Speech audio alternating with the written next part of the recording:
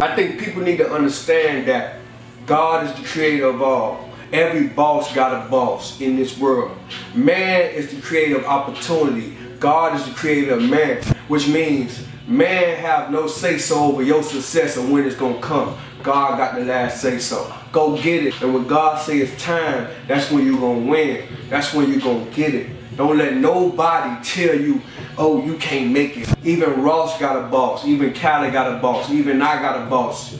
But God is the boss overall because ain't nobody over God. Even the dollar bill tell you, in God we trust. You want this watch? You could get this watch. You want whatever you want in life? Go get it. With a little prayer and a whole lot of faith, you can do whatever you put your mind to. Because I'm going to do it. I ain't letting nobody stop me from doing what the fuck I want to do. I'm to keep going. I'm to keep grinding. And I'm to keep going. And I'm to keep grinding.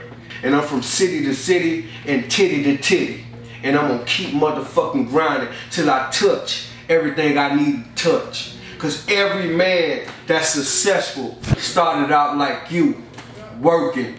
You ain't there yet? Don't worry. Congratulations. Welcome to the world.